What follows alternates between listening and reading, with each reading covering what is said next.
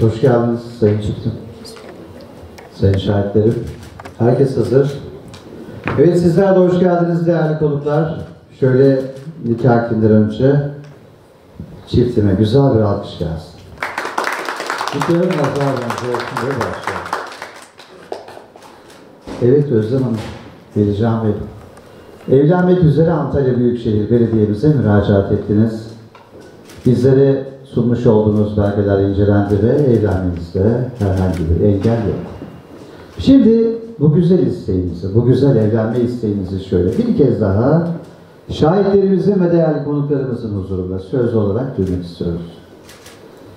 Özlem Hanım, biraz daha devam edeyim mi konuşmaya ya da Velican Bey terlemeye başladı ve için başlayalım. Peki soru gelsin o zaman. Özlem Hanım ilk sizin. Sayın Velican Bey, hiç kimsenin etkisi altında kalmadan kendi özgür iradenizle bir ömür boyu eş olarak kabul ediyor musunuz? Evet.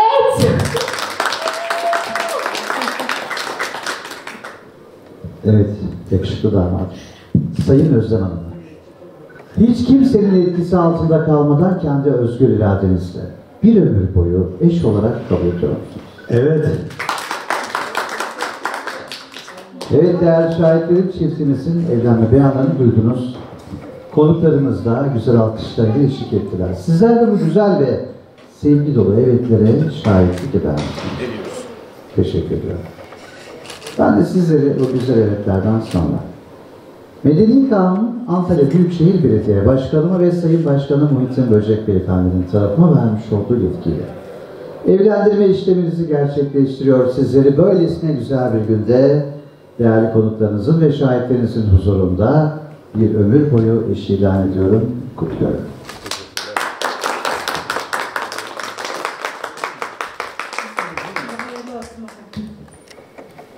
Bakalım. Buraya baksana.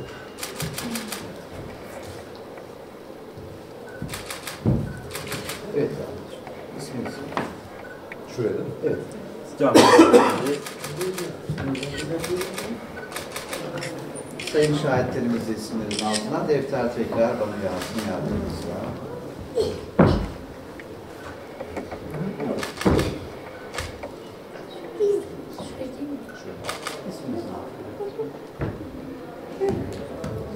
Evet bu güzel imzalardan sonra aile birliğiniz kurulmuştur. Tebrik ediyorum.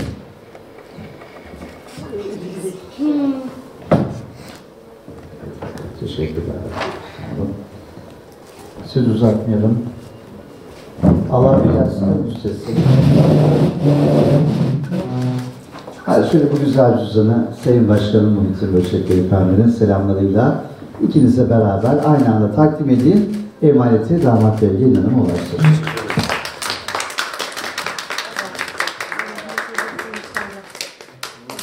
Evet. Şöyle ön tarafa geçelim. 20 dakika salon sizin bilerek nikah almadım da oraya kadar. Tamam Biraz uzun kalın. Hadi. Şöyle buyurun. Teşekkür ederim. Sağ olun. Beraber bir tane alıyorum.